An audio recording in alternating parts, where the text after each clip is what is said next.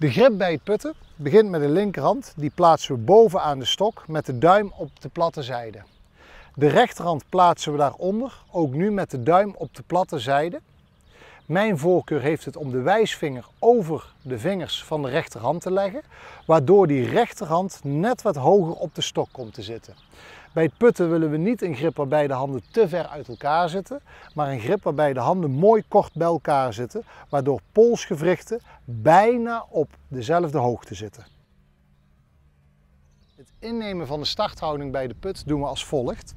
Je staat rechtop, scharniert vanuit de heupen naar voren en zakt iets door de knieën, waarbij de armen ontspannen hangen en dan plaats je de handen bij elkaar. Van vooraanzicht kun je dan heel goed zien, zodra ik die handen bij elkaar plaats, dat er een kleine knik in beide ellebogen ontstaat.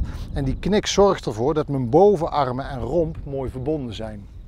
Nou, met die verbinding sta je start klaar en maak je de beweging.